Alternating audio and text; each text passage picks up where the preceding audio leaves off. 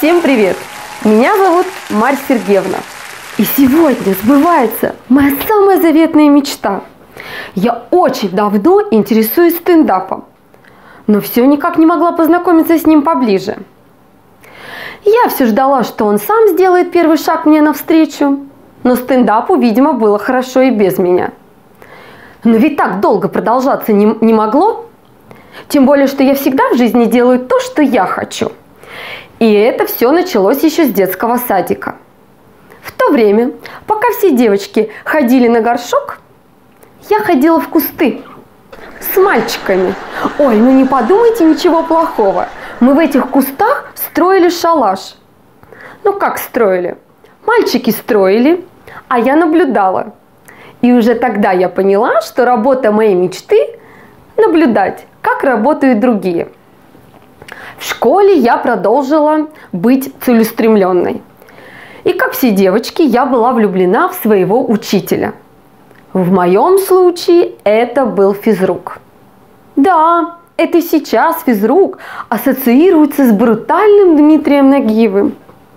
Нашего физрука с Нагиевым объединяло только отсутствие волос. Да, конечно, выбор странный, но сердцу не прикажешь. Как видите, для меня нет невыполнимых задач. Но стендап все-таки мне очень долго не покорялся. И я знаю причину. Это мой муж. Да, мой муж категорически против, чтобы я выступала со стендапом.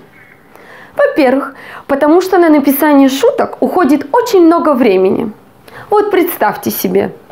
Дорогая, что у нас сегодня на ужин? Мой новый монолог. Но это же вчерашний. Дорогой, я добавила новые шутки. Попробуй. Хорошо. Только передай мне, пожалуйста, хрен. Ты считаешь, что мой юмор недостаточно острый? Да, моего мужа, конечно, можно понять. Ведь он работает продюсером, а если я стану популярной, то ему придется стать моим импресарио. А на это он категорически не может пойти, потому что он слишком любит меня и ценит свои и ваши нервы. Он вообще считает, что у людей и так крыша без меня едет, а я со своими выступлениями внесу еще больше сумбур. Как вы видите, мой муж очень заботится о спокойствии россиян. Он защитник Отечества. Истинный.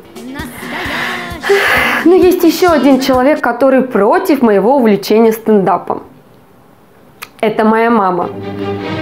Она вообще в нашей семье главный футуролог и знает все наперед, чем это закончится. Как вы видите, я живу в идеальной семье, где два человека – поддерживают и понимают друг друга. Это мой муж и моя мама. И я этому очень рада, потому что семья – это самое главное, что есть у нас в жизни. Жизнь начинается в семье, и, как считает мой папа, с появлением семьи нормальная жизнь заканчивается. Мой папа – это человек, который во всем меня поддерживает и дает ценные советы. Однажды он мне посоветовал, как найти спутника жизни. Да нужно просто знать, с кем спутаться. Тем более, что хорошие мужики на дороге не валяются. Они, как правило, валяются на диване. И мой папа этому подтверждение. Весь февраль он пролежал на диване и смотрел Олимпиаду. Я ему говорю, папа, ну что ты там смотришь? У нас же даже флага нет. На что он мне ответил, доча, запомни, чем у русских больше всего отбирают, тем мы становимся сильнее. Ведь это истинная правда. Вон, французы когда-то спалили Москву, а через полгода наливали русским солдатам шампанское в Париже. Монголы 300 лет собирали дань с русских а теперь изображают японцев в Якитории. А все это потому, что когда-то наши русские мужчины встали и защитили наше Отечество, а мы, их потомки, им безмерно благодарны. Ну и в завершении.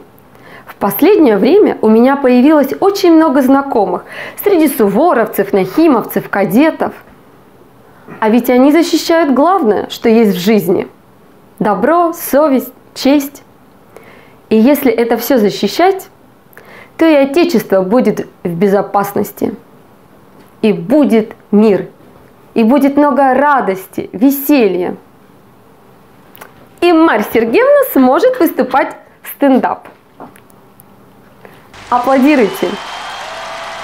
Улыбайтесь и аплодируйте себе.